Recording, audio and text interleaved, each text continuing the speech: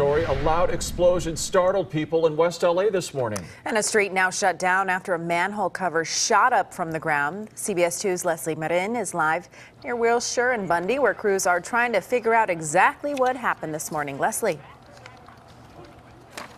Well, I can tell you, police tell me they heard this explosion themselves. That's how loud it was. And that is when they knew to come out here. They didn't even get any 911 calls yet. But I'm going to get out of the way to show you this uh, manhole that exploded. You can see that manhole exposed right now. They do have a cone set up so no one uh, falls in there. That would be a problem for fire and police. But I want to show you where the cover ended up about 40, 50 feet away. It shot up, landed right right there, we're told that this was possibly due to a fault in wiring that caused pressure to build, then causing that explosion. Police telling us it was really loud. We're lucky no glass shattered in this area, they say. Luckily, no one was hurt here, but imagine if someone may have been driving in the area at that time. Could have been a bad situation. Luckily, no one was around at that time.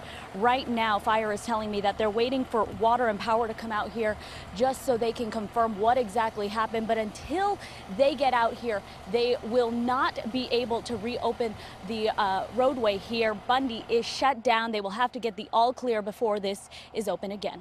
Reporting live in Brentwood, Lesley Marin.